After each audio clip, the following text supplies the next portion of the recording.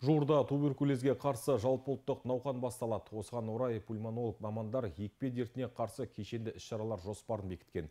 Дәрігерлердің айтуынша сырқаттанушылар көбейіп барады. Биыл облыста қанша науқас туберкулезге шалдыққан? Ем-дом жұмыстары қалай жүргізіліп жатыр? Толығырақ келесі бейнесюжетте.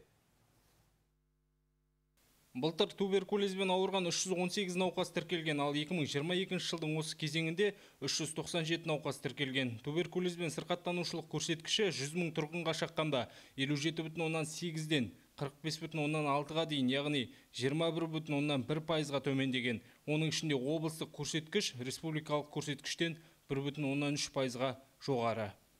Құрманғазы ауданында мысалы былтыр жүз он үште жеті болатын болса жиырма үште сексен жетіде жеті болып өздеріңіз көріп отырсыз. Екі есе облыстық деңгейден үш есе республикалық деңгейден жоғары.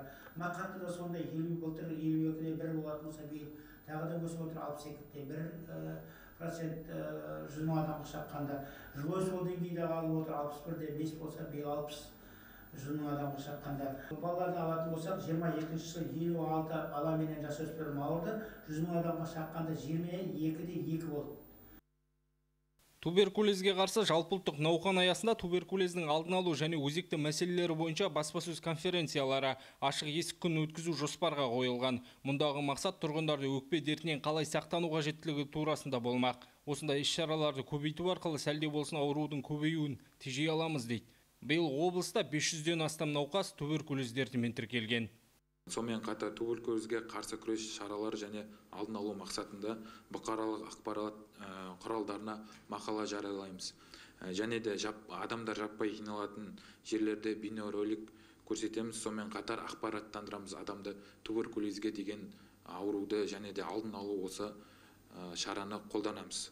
Жалпы облыс бойынша туберкулезбен жаңадан ауырған 318 науқастың 56,9 пайызы қалалық емханалар бойынша тіркелген. 2022-23 жылдар аралығында туберкулезбен сырқаттанушылық аудандар мен қалалық емханалар бойынша өскен. Мәселен, Махат ауданы көш бастап тұр. 28,8 пайызға артқан. Бұл аудан көрсеткішінің облыстық деңгейден асып түскені дейді мамандар. Сонымен бірге номер 3 қалалық емханасы, геолог емханасы бұл қатарда. Нұржол жақсылық тілек жаңалық қызметі.